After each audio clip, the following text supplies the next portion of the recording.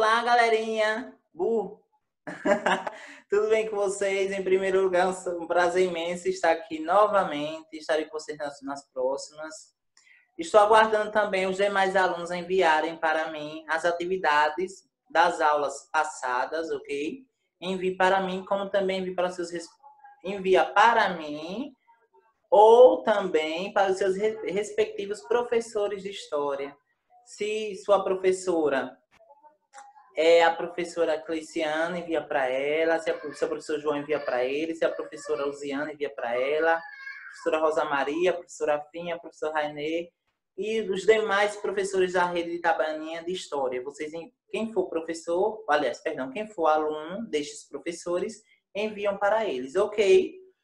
Desde já, peço que vocês dêem pausa aqui no vídeo, pegue seu caderno, seu lápis, sua caneta, como também você vai pegar o livro de história, porque todas as aulas que são produzidas aqui estão baseadas no livro de história, para que vocês que estão aí do outro lado é, poder acompanhar, né?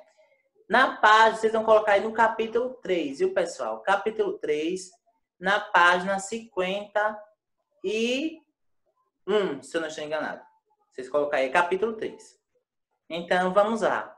Eu estou aqui em uma nova plataforma, em outro formato, vocês vão perceber isso durante o desenvolvimento da aula. Ao mesmo tempo, eu vou pedir já para vocês que vocês dêem o link, o like aí, tá? Não esqueçam, não esqueçam, dê o like aí, né? Porque é uma forma de otimismo, né? Para a gente melhorar mais ainda, se adaptar a essa, nova, a essa plataforma, a, ao universo digital. Como também, a partir de agora, todos os alunos que assistirem o vídeo devem colocar aí abaixo no comentário. Aí abaixo tem a opção comentário você vai colocar o seu nome e abaixo do seu nome você vai colocar a escola onde você estuda. Não esqueçam, tá?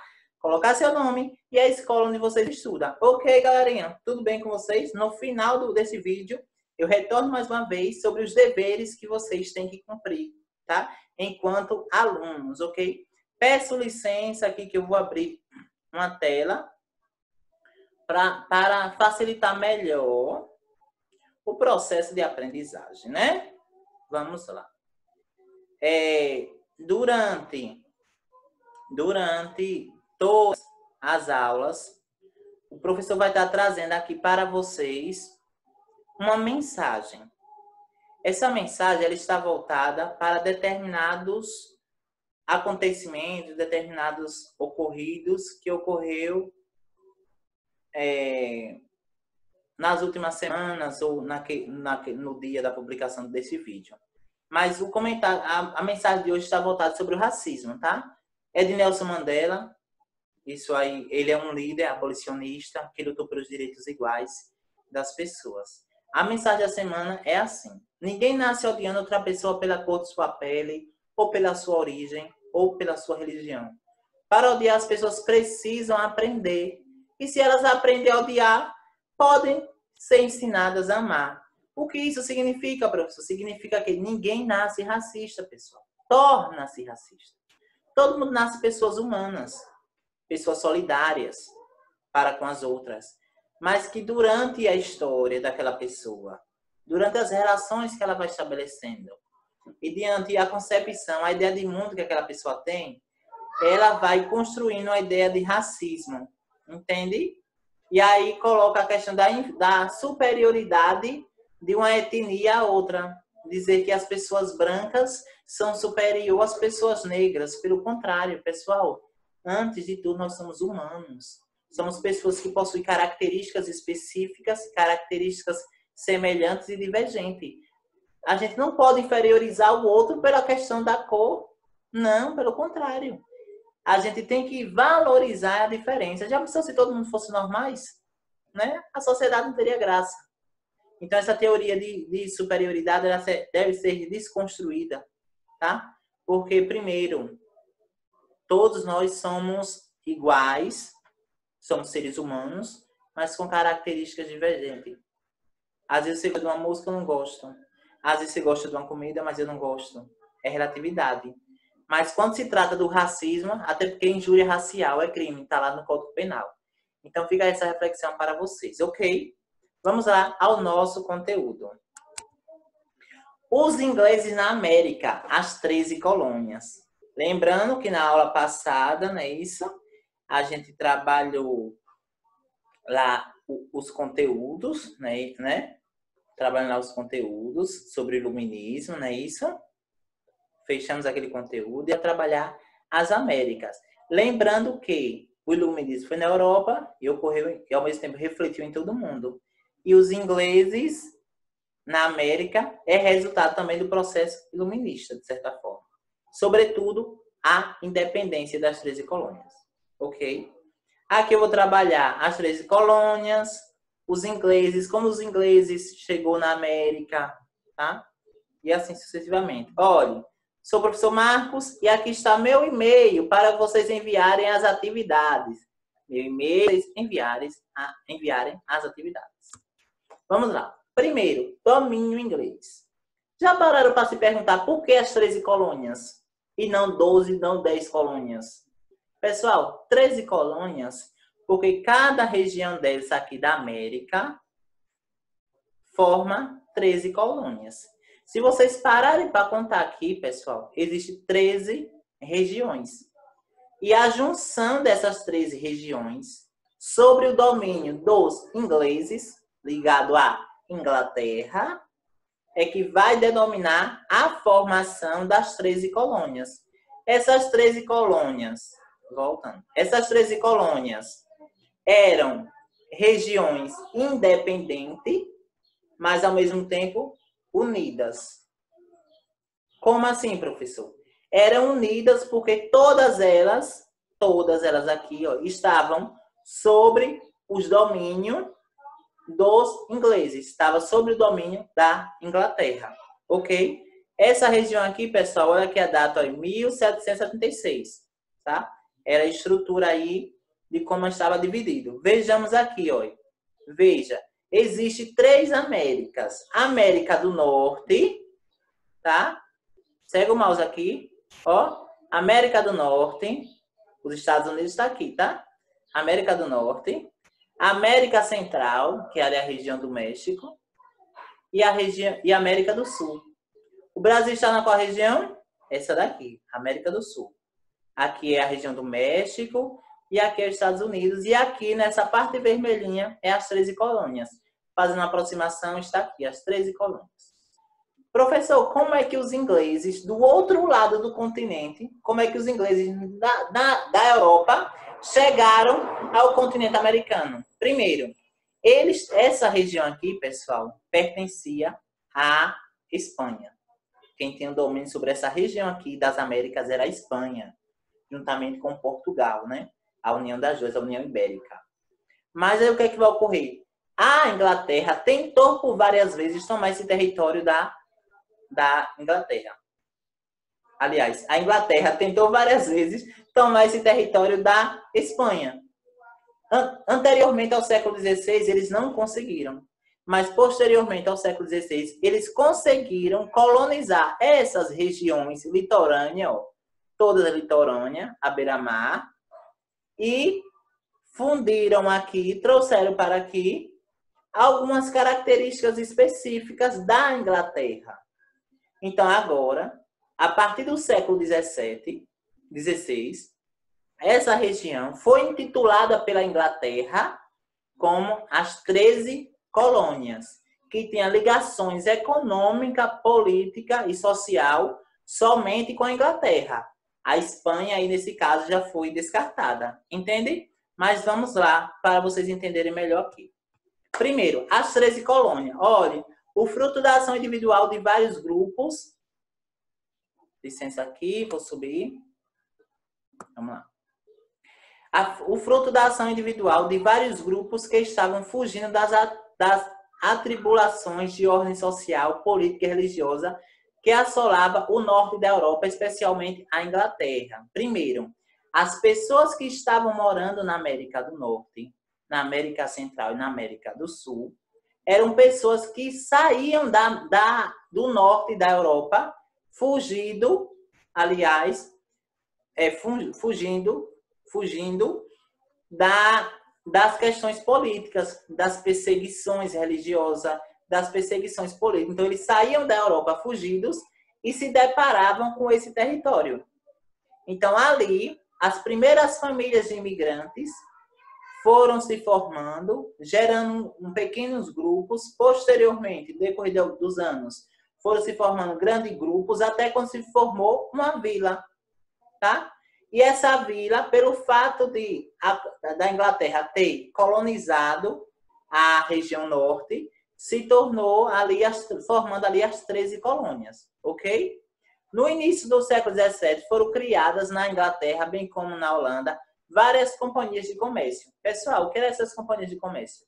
A Inglaterra chegou sobre a América do Norte a partir das companhias de, de comércio. Essas companhias de comércio estimulavam pessoas da Inglaterra a adentrar em alto, no alto, em alto mar, a navegar em alto mar atrás de novos territórios.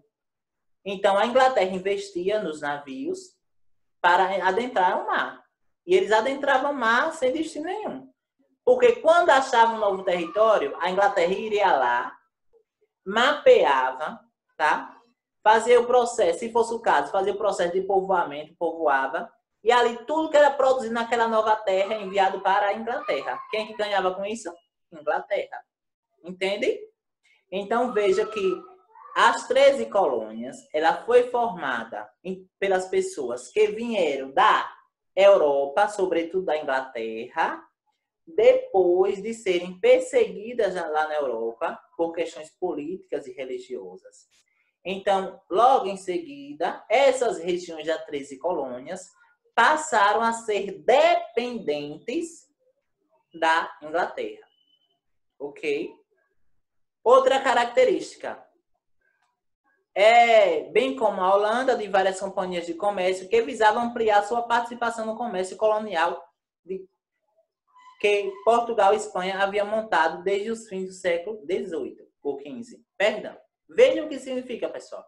Significa que o objetivo da Inglaterra em criar as campanhas de, de comércio era retirar do poder de Portugal e Espanha determinados territórios. Ali tem um jogo político, um jogo econômico e uma disputa territorial. A Inglaterra estava em processo de crescimento. Portugal já tinha estagnado, já tinha parado de crescer. A Espanha também. Então, a Inglaterra está em crescimento. Então, essas, essas 13 regiões se tornaram colônia da Inglaterra. Ok? Aí essas campanhas de comércio terminaram por incentivar a imigração de colonos, como eu falei para vocês, tá? Passaram a ocupar a terra da Espanha, na América do Norte, dando início à colonização inglesa na América. Foram criadas 13 colônias que terminaram assumindo características diferentes, resultando, resultando em dois tipos de colônia. Um tipo era de povoamento e o outro era de exploração. Vamos voltar aqui ao nosso mapinha. Aqui.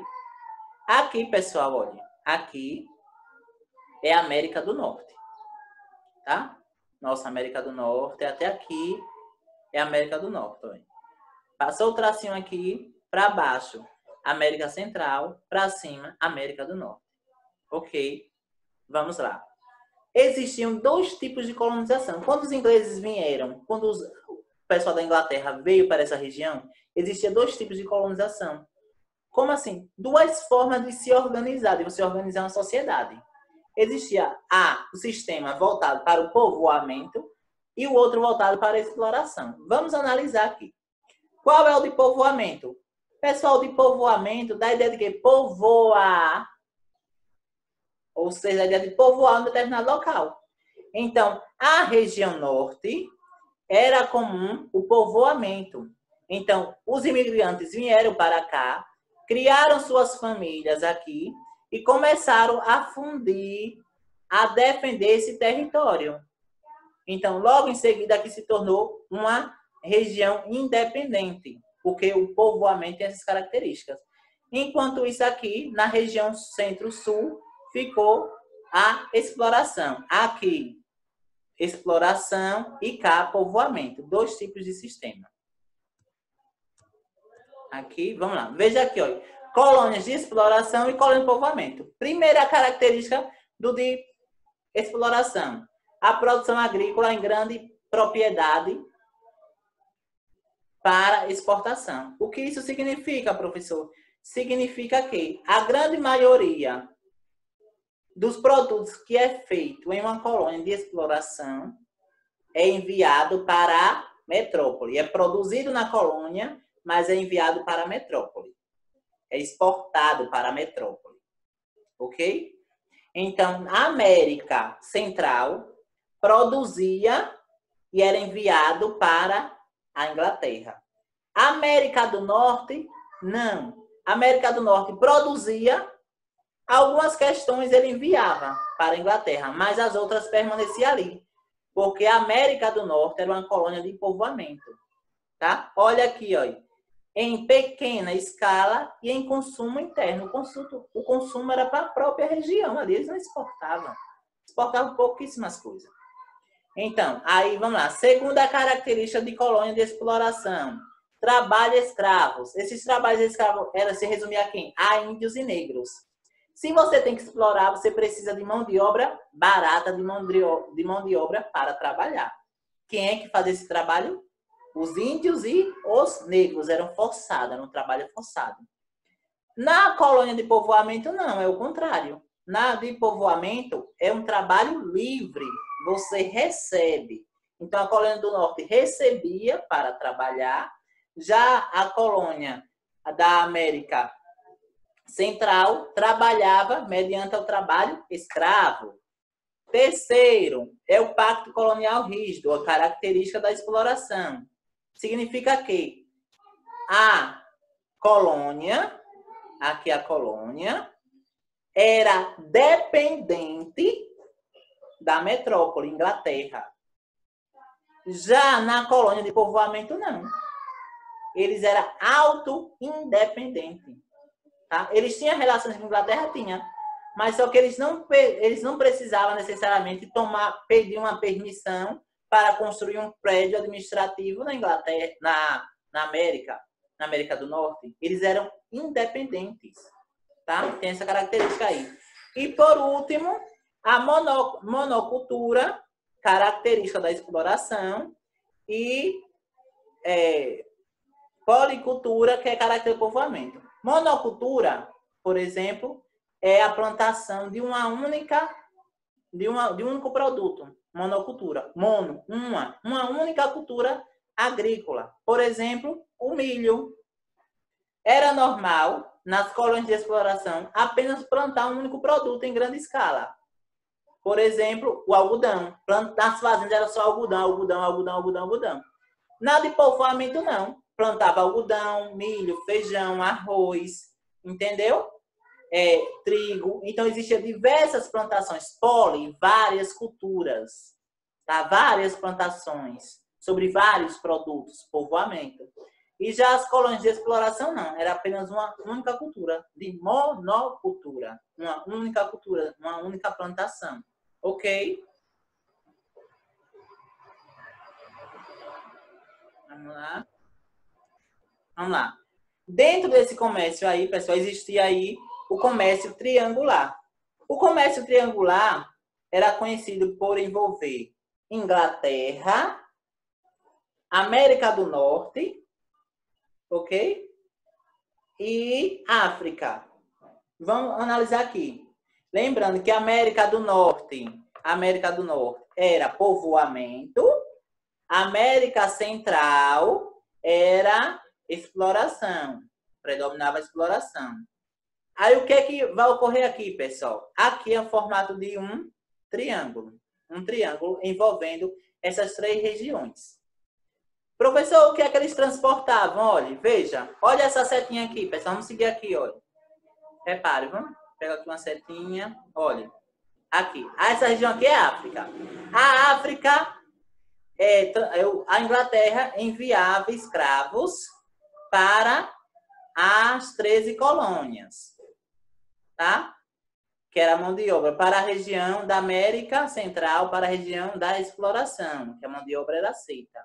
Aqui os homens trabalhavam, os escravos trabalhavam, produziam, entendeu? produziam é, tecidos e ferragens e era enviado, por exemplo, olha, o melaço e açúcar, eles produziam muito açúcar, enviava para a Inglaterra o açúcar, a matéria-prima. Lá na Inglaterra, a matéria-prima era feito, o açúcar era feito alimentos, e aí em seguida a Inglaterra enviava para a América do Norte. Veja, escravos saíam da África, ia para aqui a região da América Central da exploração, trabalhavam, enviavam açúcar para a Inglaterra e Inglaterra enviava produtos manufaturados, vendia para a América do Norte. Esse tráfico aí, esse tráfico não, essas relações comerciais foi conhecida como comércio triangular. Tri, três ângulos, três regiões, tá? Por exemplo, aqui, ó, veja, aqui, escravos enviado para América Central, daqui era enviado para Inglaterra, sempre África, América, Inglaterra, ok? Então, por muito tempo isso funcionou. Então, quando se fala de triângulo, você já sabe, já triangular, já sabe qual que significa. E algumas considerações. Veja, o principal elemento de comércio triangular foi o chamado tráfico negreiro, que saía da África para a América que envolvia o prisioneiro de africanos em seus povos, sua transferência forçada, diáspora africana. Diáspora, pessoal, significa quando você sai forçado de uma determinada região, a força. Por meio de navios negreiros, porque tinha que passar ali a região, o mar oceânico e o, e o Atlântico, né? Então, é mediante os navios negreiros e a chegada ao Novo Mundo. Que Novo Mundo é esse? A América. Todo esse movimento era organizado por agentes do tráfico em troca de produtos manufaturados. Então, se a Inglaterra pagava pessoas para tirar negros da África forçados e enviar para a América, essas pessoas que faziam isso recebiam produtos em troca. Eles enviavam o quê? Homens e mulheres para serem explorados nas colônias. Que colônia é essa? Colônias europeias. Que colônia europeia é essa? América do Norte, América Central e América do Sul. Então, a Inglaterra vai servir aí um processo de mediação entre a África e a América do Norte, que era de povoamento. Lembrem sempre disso. E aqui nossa atividade, capítulo 3, página 50. Tudo resumidozinho aqui. Expliquei como funcionava o comércio triangular, que eu expliquei para vocês as relações das três regiões. Inglaterra, África e América é, quais eram os principais produtos, lembrando que está lá, era o açúcar, o moçolano, é, produtos manufaturados, tecidos, ferramentas, define a colônia, a colônia de exploração, né? Que no caso a colônia de exploração tinha como características a monocultura, o trabalho escravo, tá? o pacto rígido, dependência da com a metrópole. E a colônia de exploração não, era mais independente, o, o consumo era interno, era policultura, diversas plantações. E aí eu já estou apresentando as suas características. Como surgiu as 13 colônias? As 13 colônias surgiram quando os, os ingleses saíram da Inglaterra a partir das campanhas de comércio e se depararam com a região da América do Norte, onde, onde ali povoaram. Ok? Característica das colônias da América do Sul e as colônias do Norte. Lembrando, características. A América do Sul era o sistema de exploração. Exploração, visto o Brasil. E a América do Norte era povoamento. Já está respondido. Ok, pessoal? Por hoje é só. Espero que vocês estejam bem. Lembrando o nosso acordo, tá? compartilhem, coloque o seu nome aqui abaixo e o nome de sua escola e façam as atividades. Até próxima semana, ok, pessoal? Posso contar com vocês? Abraços de paz e o quê? Abraços de luz. Até breve. Thank you.